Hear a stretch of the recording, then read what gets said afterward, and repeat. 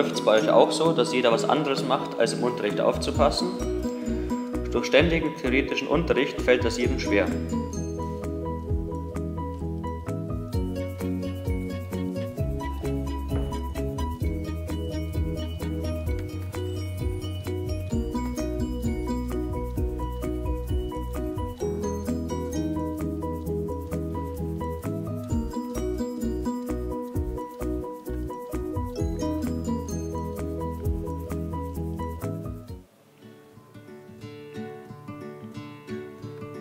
In der Metall 2 wird uns durch computergesteuertes Drehen,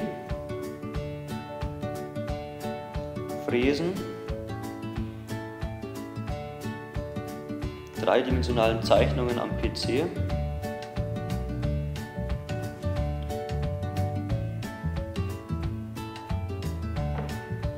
und Spritzgusswerkzeugen das selbstständige Denken und die praktische Arbeit schon früh beigebracht.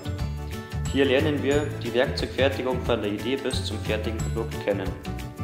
So wird uns die Möglichkeit gegeben, Theorie und Praxis zu vereinen und das Lernen im Unterricht gleichzeitig zu vereinfachen.